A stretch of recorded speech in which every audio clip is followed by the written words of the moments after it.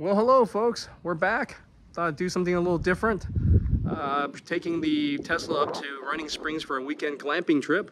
So thought I'd like to share with you guys how the car performs in the snow and the uh, cold weather. I'm really curious how the battery holds up and is able to uh, maintain a charge. So stay tuned here. Reiterate, so much space in the Tesla Model Y. If you'll take a look, I mean, we have our dog, firewood.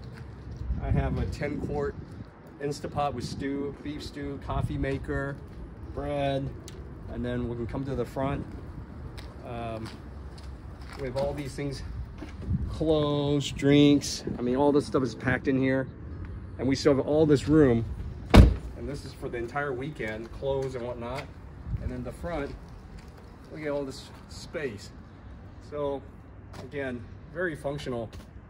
I, I know a lot of folks actually commented saying that, you know, it's not the prettiest of cars, but for a daily commuter as far as, as far as functionality, it's, it's just amazing, hard to beat. All right, so I'll let you guys know how it goes. We're headed to Supercharger now. Folks, we're back. We're probably about 10 miles away from our glamping site up here in Running Springs.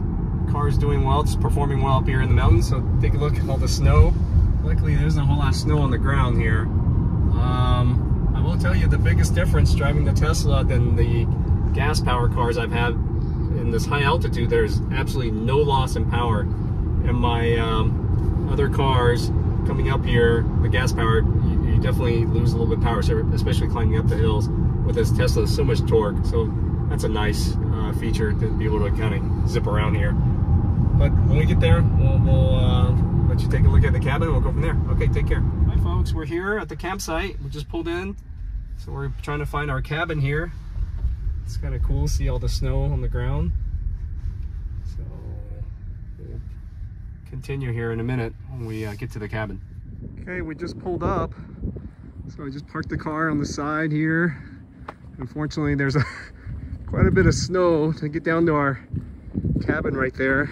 It's that one right over there. And there's so much snow here.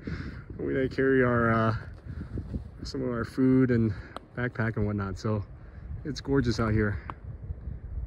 Just gotta give you guys a quick look around here. And we'll see how the uh, Tesla does here when we leave it here overnight. All right, we'll report back here. We just got to the cabin. So here's the interior. Here's this little small kitchen right here. And then we have very small bathroom, full bathroom, full shower. So it's small, but it'll do. I'll be home for the next couple days. And the view out here is just spectacular. Highly recommend. This is the door going outside. Look at all the snow that's out here. That's hilarious how much snow is out here. And there's the Tesla. all the way up there. Around here. This is the cabin. And this is where we're at. It's beautiful here. All right, to be continued. Settled in here. Gonna prep and make some dinner. We have a little bit of, uh, gonna do a little garlic French bread, some rustic French bread, and we have some Ukraine dill stew that I made this morning. And I guess what makes it Ukraine is dill. It's uh, 35, 36 degrees outside, so it's pretty cold. So this would be perfect.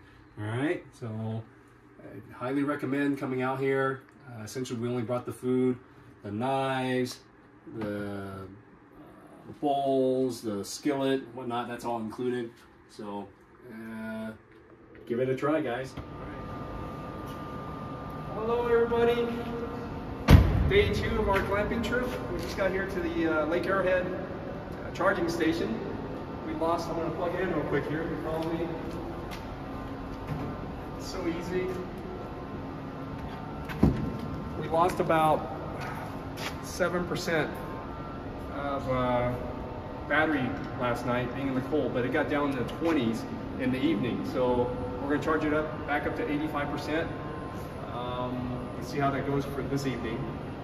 And that, stay tuned. Hey, day two of our glamping trip here in Running Springs. We just got back from supercharging the Tesla. That took a whopping, I don't know, 15 minutes from 35% all the way to 90%. And it took about 5% uh, getting back here to the cabin. It was only about, about, I don't know, 7 to 10 mile drive. So making some lunch, continuation from uh, Ukrainian stew from yesterday. And we're grilling up some salmon. We're gonna cook the salmon outdoors and the fire pit, but it's too cold. so, uh, to be continued here. It's beautiful out here. It's our last day here clamping or camping here in Running Springs. It's about 7.30 in the morning. Just started a fire. Beautiful out here. It's about 33, 35 degrees. Um, left the Tesla out last night and I looked this morning. We lost about 3% in battery just by being in the cold, but that's not too bad. So gonna enjoy a little bit of coffee, get some breakfast, and um, start packing up. All right. Okay, we're leaving the campsite now. Uh, if you notice, we have 75% remaining on the battery life. Yesterday uh, evening when we got home, we parked, it was about 83% remaining. Uh, over the evening, we woke up 7.30 this morning, is 80% range, and it is now 10 o'clock and we're down to 75%. So it's about a 70 mile drive back home, 75 miles. I'll report back uh, how much range uh, we have left by the time we get back home. All right. Hey folks, we made it home. Just a quick note. Uh, we used about 20% of battery coming home about 70 miles or so.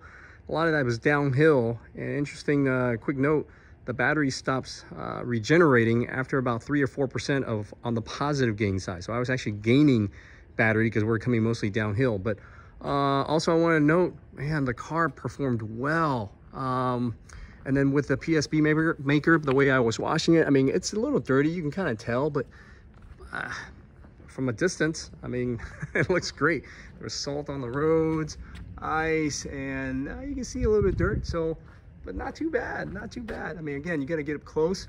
Um, with the uh, the way I wash it and with the sealant I put on there, it's really hard for anything to stick on this. And, I mean, we have some bugs, but not much. Uh, it's not bad at all.